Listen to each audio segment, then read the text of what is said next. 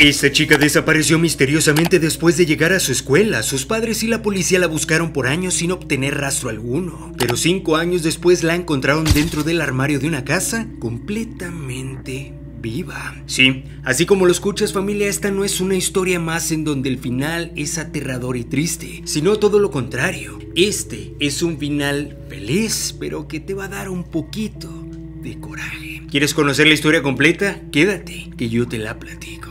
Natasha Annie Ryan nació en Rockhampton, Australia en 1984. Cuando tenía 14 años de edad para el 31 de agosto de 1998, se bajó del asiento trasero del auto de su madre para entrar al colegio exactamente a las 8.15 de la mañana. Pero esa misma tarde desapareció y no volvieron a saber más de ella. Inmediatamente se alertó a las autoridades, quienes haciendo su trabajo detectaron lo que para ellos era el primer sospechoso. Se trataba del mejor amigo de Natasha, un chico de ascendencia maorí llamado Mayoa Tokotawa, quien tenía 15 años. Él había sido la última persona que había estado con ella antes de que se esfumara. Los dos se conocieron cuando eran más pequeños y enseguida encontraron puntos en común. Los dos tenían vidas que no les gustaban, por lo que en su afán de liberarse de sus problemas, empezaron a experimentar con sustancias indebidas y tan solo una semana antes de la desaparición de Natasha, su mejor amigo sufrió un episodio en su vida bastante pero bastante terrible. Ellos se encontraban juntos en un lugar donde solían consumir esta clase de sustancias. Había allí dos hombres grandes que el chico conocía solamente de vista, pero lamentablemente estos hombres tenían malas intenciones con él. Esa noche el mejor amigo de Natasha fue manipulado en contra de su voluntad por un tipo llamado Leonard Fraser para finalmente aprovecharse de él. Natasha estaba en el lugar pero no pudo ayudarlo pues ella estaba completamente en shock. Siete días después de este terrible episodio sin haber denunciado a la policía porque le daba vergüenza, Mayoa, el mejor amigo de Natasha, ahora era señalado por la desaparición de su mejor amiga. E inmediatamente lo pusieron a él y a su familia bajo seguimiento al menos las siguientes 24 horas. Pero ya sé que para este punto te estarás preguntando qué tiene que ver lo que le sucedió al mejor amigo de Natasha con lo que pudo haberle sucedido a Natasha. Pues es importante que lo conozcas, pues a continuación te contaré algo que este hombre, el mismo que le hizo daño a su mejor amigo, hizo con otra chica otra niña de tan solo 9 años y que en su momento creyeron que podría estar también relacionado con la desaparición de Natasha Ryan. Ante la ausencia de pruebas que incriminaran a Mayoa, debieron dejarlo en libertad, pero aquel arresto lo marcaría para siempre, pues todas las personas lo tachaban de las peores formas posibles. Las cosas para él cada vez empeoraban, por lo que su padre Alistair se hartó de la persecución y decidió mudar a la familia de ciudad. Sin embargo, con el caso de Natasha todo siguió igual hasta el 22 de abril de 1999, pues ese día una pequeña llamada Keira Steinhardt, de 9 años, vestida con su uniforme verde, caminaba hacia su colegio en North Rockhampton, cuando se le perdió el rastro. Tal cual como había sucedido con Natasha, pero esta vez actuaron rápido y la policía descubrió que había sido un tipo llamado Leonard Fraser, quien la estaba acechando. Sí, aquel mismo tipo que le había causado daño al amigo de Natasha. Ahora este tipo también estaba involucrado no solo con lo que le había hecho a esta pequeña, sino también con lo que probablemente este tipo pudo haberle hecho a Natasha Ryan. Pero algo tenía que ver o vendría algo mucho más extraño que absolutamente nadie se esperaría. Leonard Fraser, luego de aprovecharse de Keira y causarle el horror, se deshizo de ella. Pero por fortuna, Fraser fue atrapado y la terrible noticia empezó a hacer pensar que a Natasha podría haberle pasado algo similar en manos de este hombre. Ya en la cárcel, el hombre confesó a otros presos que en realidad él había enviado al otro mundo a muchas más mujeres. Incluso dio nombres y condujo a los detectives hasta donde estaban las pruebas de todo lo que él decía. El sospechoso daba con el perfil, había actuado repetidamente en el área y se le adjudicaban varios casos más, por lo que empezaron a pensar seriamente que Natasha podría haber tenido el mismo final en manos de este terrible monstruo. Por ello, la policía planeó otra estrategia. Con la ayuda de su compañero de celda consiguieron una confesión. Él terminó diciendo que había encontrado a Natasha Ryan en un cine y después de cometerle el horror, terminó por enterrarla debajo de un árbol de mango cerca de un lago, en los alrededores de un aeropuerto. La policía entonces creyó haber hecho un buen trabajo, pero fracasaron en la búsqueda de Natasha. De todas formas, el caso le fue endilgado a Fraser y fue a juicio también por ello. Sin embargo, algo mucho más misterioso y bastante impactante estaría por suceder. Natasha, al parecer con lo que se sabía hasta ese momento, era una chica conflictuada. Se escapaba, mentía, consumía sustancias indebidas y había intentado privarse de este mundo. Poco tiempo antes de desaparecer, ella le había dicho a un consejero escolar que estaba embarazada y esto orillaría que se escapara de casa con su novio. En ese momento, un chico llamado Scott Black que tenía 22 años. Sin embargo, la chica volvió a casa y esto había pasado tan solo un mes antes de que volviera a desaparecer, pero ahora no encontraría ni una sola pista de qué es lo que podría haberle sucedido. Cuando ocurrió esta segunda desaparición, al primer lugar al que acudió la policía fue a la casa de Scott Black. El novio aseguró que esta vez no sabía nada de ella. Los detectives revisaron toda la casa y le creyeron. Tres años después, en mayo del 2001, cuando Natasha hubiese cumplido 17 años, sus familiares finalmente aceptaron la idea de que se había ido de este mundo, por lo que llevaron a cabo su funeral. Pero tres años después de haberse resignado, ahora sí, vendría una noticia que dejaría a todos completamente.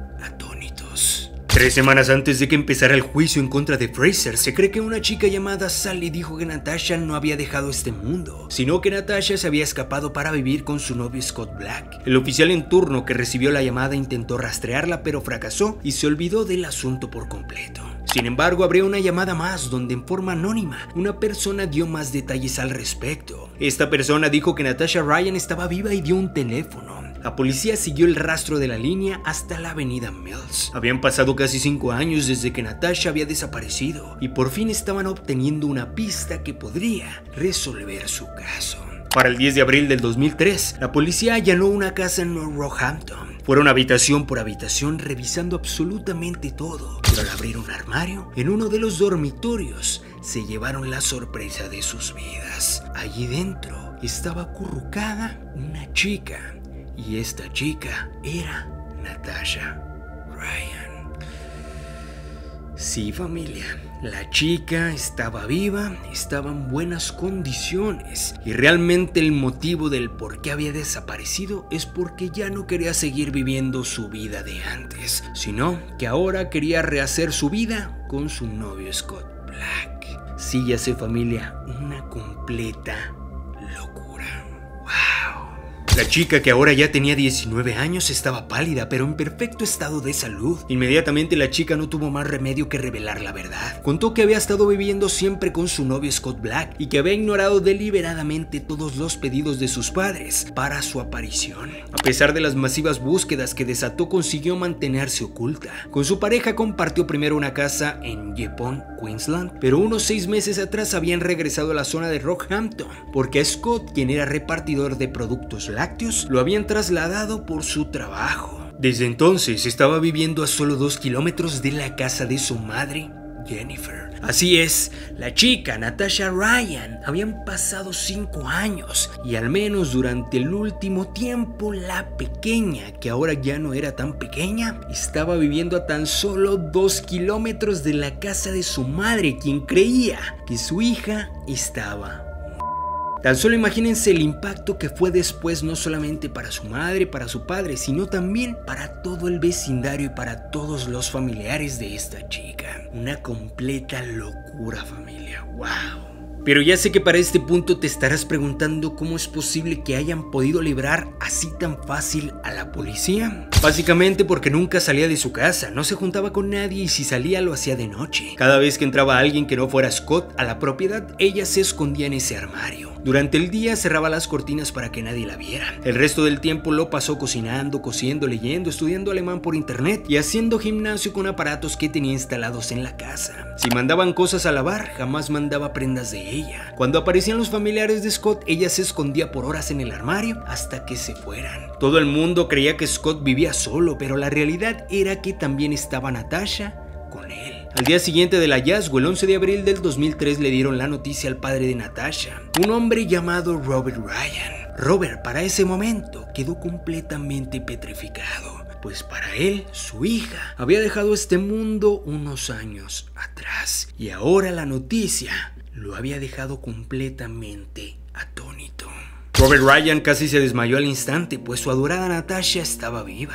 Apenas se supo la noticia, el manager de un programa voló para hacerle un ofrecimiento a Natasha Ryan por 120 mil dólares para obtener la exclusiva. La revelación de que estaba con vida no solo provocó alegría, sino también una tormenta de rabia. Hubo serios cuestionamientos a la policía por no haber podido encontrarla antes. Sin embargo, pese a no haberle hecho daño a nadie, sus mentiras traerían consecuencias. Natasha y Scott tuvieron que enfrentar cargos por lo que habían hecho, pues no solo hicieron sufrir a su familia, sino que también la policía destinó mucho dinero para su investigación, pues su búsqueda le costó al Estado entre 250 mil y 400 mil dólares. Por su parte, Natasha debió pagar 3 mil dólares de multa y otros 16 mil por los gastos generados. Sin embargo, Natasha consiguió sacar mucho más rédito de su delito que lo que gastaron las autoridades. En esta etapa cambiaron de vida, Natasha empezó a reintegrarse a la sociedad y comenzó a estudiar enfermería. Cuando terminó, consiguió trabajo en una clínica. En el año 2005, a Scott le dieron 3 años en prisión por perjurio, pues cada vez que le habían preguntado por ella, él había mentido. Sin embargo, solo cumplió un año de cárcel y debió pagar pagar 16.740 dólares. Desde el principio fueron muchos los medios que apostaron por exclusivas y pagaron fortunas. Convertida en celebridad, protagonizó su propio documental para el programa australiano, 60 minutos, donde actuó como había sido su vida escondida desde 1998. Hasta posó para fotos dentro del famoso ropero donde se había cobijado.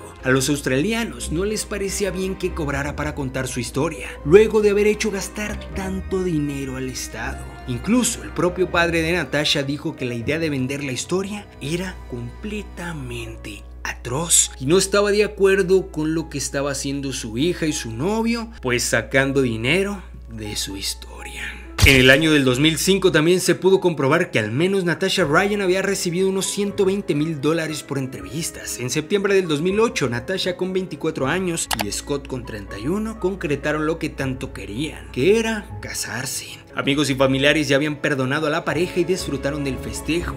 Pero, ¿qué creen que fue lo que sucedió exactamente en su boda? Sí, estos volvieron a sacar crédito de su historia. Increíble. De verdad, increíble.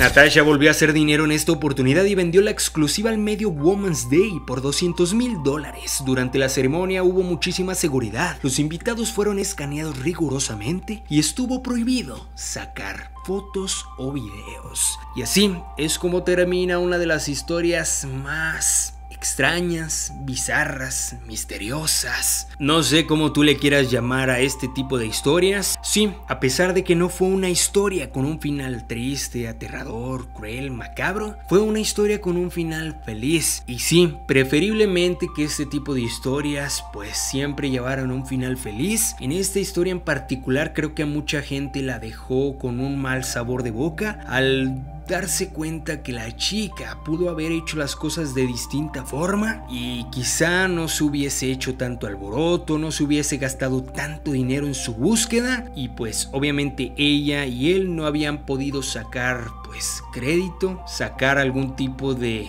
ayuda económica ayuda, no sé si llamarlo ayuda, pero bueno, sí, sacarle provecho a su historia que en teoría no le había pasado nada y que por mucho tiempo creyeron que había sucedido algo verdaderamente macabro. ¿Qué es lo que piensas? ¿Qué es lo que crees acerca de esta historia? Por favor, coméntalo aquí debajo. No olvides compartir este video con todos tus amigos, familiares y conocidos para que se enteren de lo que ocurre alrededor de todo el mundo. Te invito a que me sigas en todas mis redes sociales que te dejo aquí en pantalla. Facebook, TikTok, Instagram y YouTube. Te recuerdo que subo videos todos los días a las 8 o 9 de la noche con casos e historias completamente nuevas que seguramente no conocías. También a las 10 de la mañana y a las 3 de la tarde les subo casos e historias que probablemente ya subí tiempo antes, pero que si tú eres nuevo o nueva en la página seguramente no habías visto para que te quedes muy pendiente. Ahora sí, sin más que decirles familia, también los invito a que me sigan en mi otra página de Facebook que te dejo en pantalla. Se llama Soy Barranco y por allá estoy estrenando un nuevo formato de videos que se tratará sobre relatos de películas, series y cortometrajes, entre muchas otras cosas más. También a los de TikTok, a la comunidad de TikTok, vayan a seguirme en mi otra cuenta de TikTok, esta que están viendo en pantalla. Se llama Soy Kevin Barranco y por allá se va a estar estrenando un nuevo formato de videos. A los de YouTube, quédense porque aquí se va a estrenar todo esto. Ahora sí, sin más que decirles familia, yo soy Kevin Barranco y recuerden agudiza tus sentidos, ponte en alerta, que el terror del mundo está siendo descubierto. Nos vemos muy pronto en otro video familia. Ahora sí, vámonos.